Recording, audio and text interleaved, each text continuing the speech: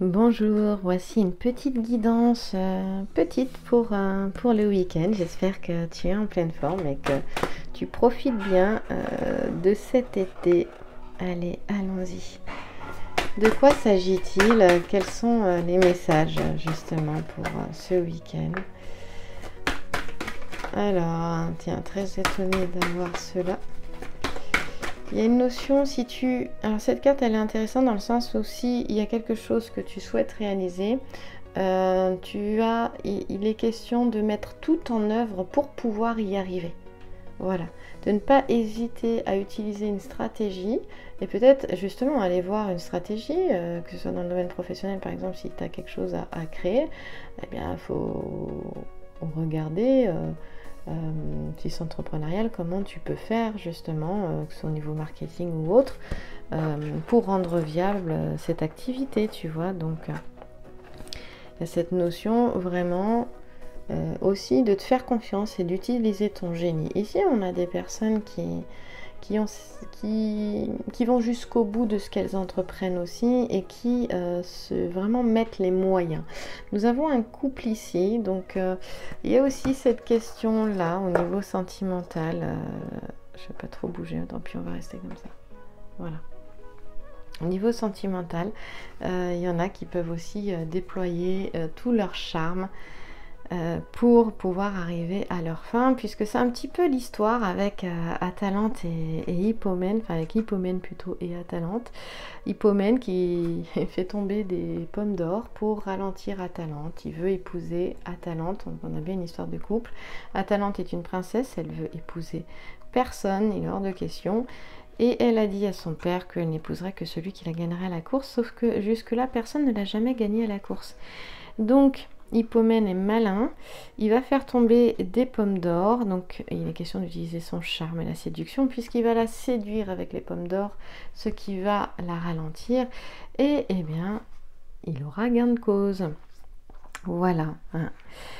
Donc là, il est question euh, d'habileté, euh, d'être entreprenante, d'utiliser son charme. Euh, euh, l'art de ruser, d'utiliser, c'est pas forcément négatif et péjoratif, après on va aller voir avec d'autres cartes à côté bien évidemment, et d'utiliser son imagination, hein, voilà.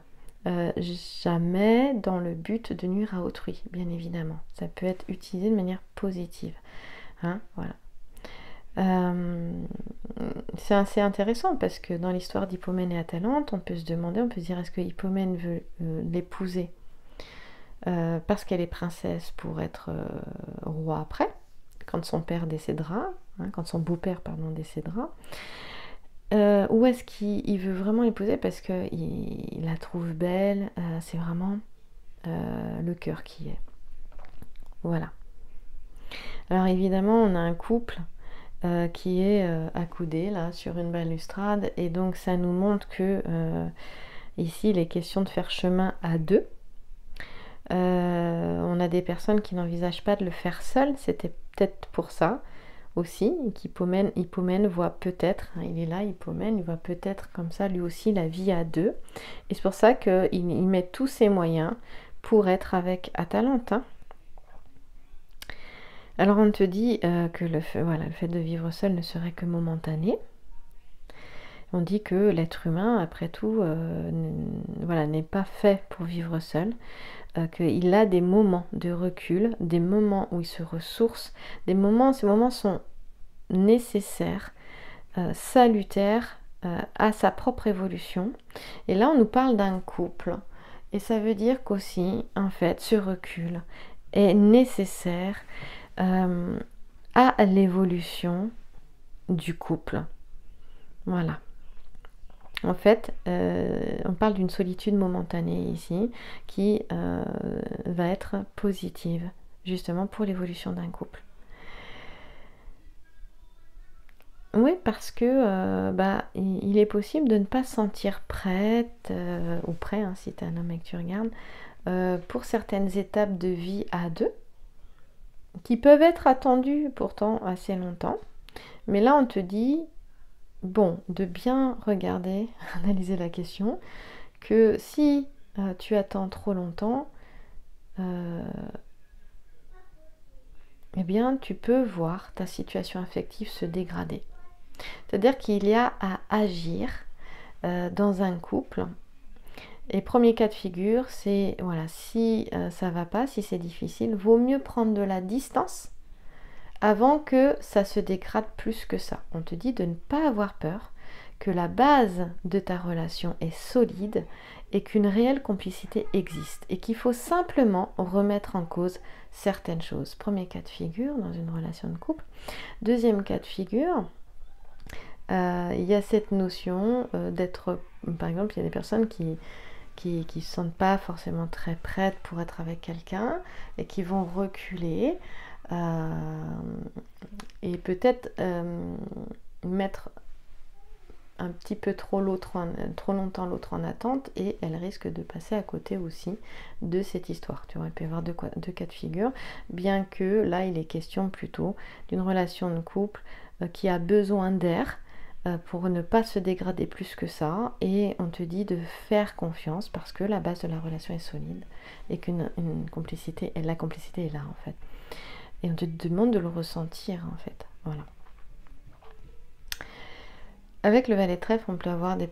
C'est intéressant parce que par exemple, s'il y a des enfants, on peut avoir des enfants, notamment des garçons, des jeunes garçons avec le valet, qui peuvent prendre leurs ailes et voilà, et aller, comme on dit, aller voler de leurs propres ailes et, et donc, euh, bah, c'est laisser partir l'oiseau du nid euh, pour le laisser vivre et devenir euh, et, grandir en fait. Hein, voilà. Et donc il y a cette notion de, quitter le nid un jour pour une nouvelle destination, voilà, pour réaliser son destin. Hein. Et ben dans une relation de couple, c'est pareil. Il y a cette notion de profondeur, de générosité qui peut animer l'autre aussi. Aimer l'autre, c'est aussi le laisser libre de voler de ses propres ailes, voilà, euh, sans nostalgie. Et en fait, justement, c'est ce qui peut effacer la nostalgie, de voir l'autre libre. Voilà. Bah écoute, euh, je pense qu'il y a déjà beaucoup de choses. Qu'est-ce que je pourrais bien te dire d'autre? Fais-toi confiance, hein, par exemple dans un domaine euh, euh, professionnel, de te faire confiance, hein, que tu as les arguments et les moyens justement pour, pour mener à bien les projets qui te sont importants ou d'avoir la victoire sur certaines situations ou de saisir des opportunités. Voilà. Sans trop devenir, on te dit, opportuniste, justement avec l'histoire d'Hippomène et Atalante aussi. Hein. Ici, il y a quelque chose qui peut être perturbant avec la lettre K, c'est cette notion de force et de vulnérabilité à la fois qui peut être ressentie dans certaines situations, c'est-à-dire vraiment créer une certaine contradiction, certains conflits intérieurs à l'intérieur, euh, bah certains conflits à l'intérieur, à l'intérieur, ou de toi. Oui, tout à fait. Euh, pourquoi? Parce qu'en fait, euh, il y a une transformation qui est en train de se faire, il y a un changement, voire un virage de vie qui peut être en train de se faire et donc euh, avec des changements de perception, avec des valeurs qui sont nouvelles euh, et qui éveillent d'ailleurs la conscience. Et ça, ces moments de transition nous rendent vulnérables avec plus de sensibilité aussi qui peut être à fleur de peau. Ben justement, si tu te sens ces derniers jours, si tu t'es senti vulnérable et à fleur de peau, c'est peut-être que tu vis ce changement, cette transformation, ce virage.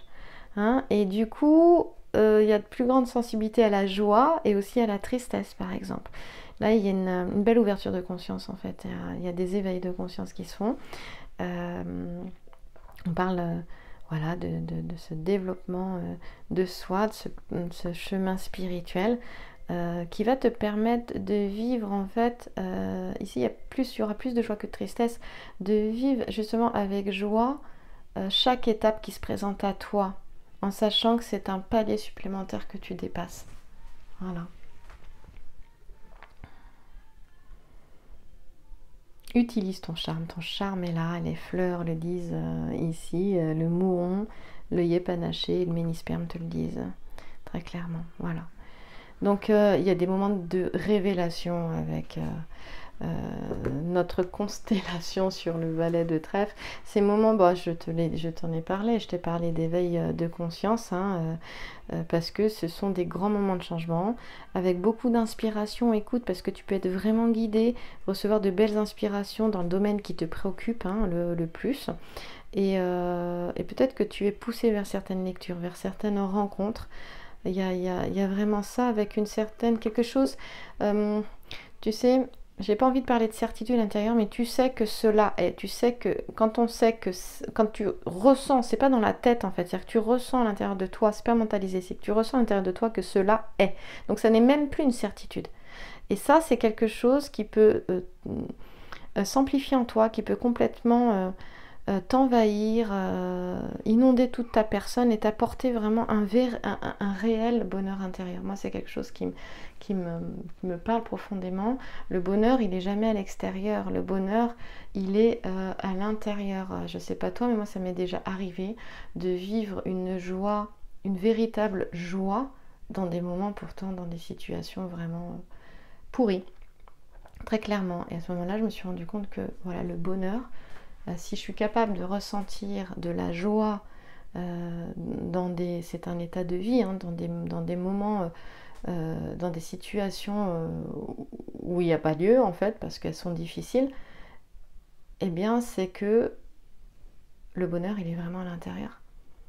C'est pas l'extérieur qui va te rendre heureuse ou heureux, c'est vraiment l'intérieur. Et ça, euh, on le retrouve dans certaines traditions, notamment dans, les enseignements bouddhistes aussi, euh, du grand véhicule, Mahayana, parce que c'est celui que je connais le plus.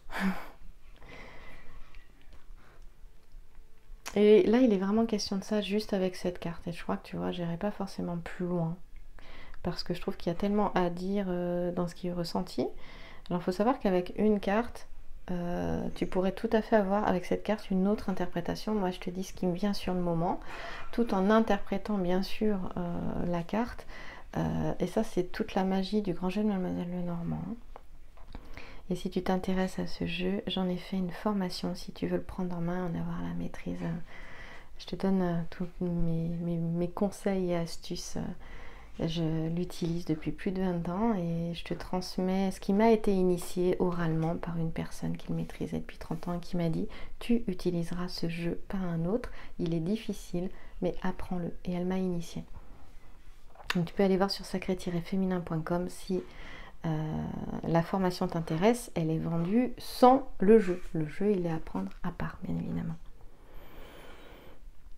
Voilà, donc là on te parle vraiment, euh, et tu vois, ça m'a permis de me réaliser euh, avec ce jeu-là, mais 20 ans plus tard, ça n'a pas été tout de suite.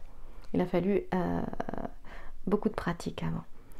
Donc là, il est question de retrouver une paix, une sérénité, de saisir que ce bonheur il vient à l'intérieur, quelque chose qui va s'installer en toi, et, que, et qui va vraiment apporter, il va y avoir des conséquences vraiment positives et bénéfiques suite à ça. Voilà. Alors forcément, il y a des, proches qui peuvent être assez surpris euh, de ce changement d'attitude et de comportement hum, qui sera tout à fait positif. Il y a vraiment des changements de repères. Le curseur, il est mis ailleurs. Peut-être il est plus mis sur ce qui est essentiel maintenant, sur ce qui est important. Donc en fait, il y a cette notion un peu où on te dit ce sera voilà, ce sera ni tout à fait pareil, ni tout à fait autre chose. C'est quelque chose, on te dit que ta vie s'annonce différente et enrichissante. Évidemment, c'est une guide en général, pas personnelle, c'est manière de parler quand je te parle comme ça. Hein. Voilà. Eh bien, écoute, on va terminer. Là, je vais m'arrêter là, juste avec cette carte. Petit message des cartes médecines. Quel est l'animal qui se présente à toi? Ah ben il y en a deux. Alors j'ai la belette et elle te dit agis tel un détective, réjouis-toi de tes découvertes, la vérité est là tout près. Et derrière est venu avec le hibou, je l'adore le hibou. Suis ton intuition, réfléchis, évite la déception, suis ta première impression. Euh, il y a un pack de coaching et intuition aussi que je propose avec 10 ateliers de coaching et intuition justement pour t'aider à la suivre cette intuition. Suis ton intuition, réfléchis évite la déception, suis ta première impression. Allez, à bientôt. Je te souhaite, euh, on se revoit la semaine prochaine. Je te souhaite un bon week-end.